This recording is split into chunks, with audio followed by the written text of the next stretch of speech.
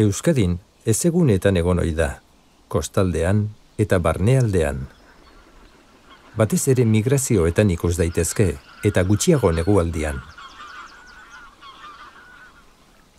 Ezeguneetan ere egiten dituzte abiak, salburukoan esaterako. Gris arriskak dira, bularra oso argia dute, eta uzkialdea zuria. Mokoa eta hankak laranjak dituzte.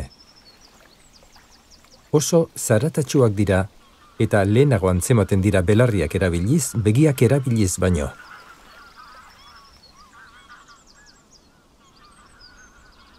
UB itxurako taldeetan egiten dute egan. Ur landareak izan ohi dituzte elikagai nagusi.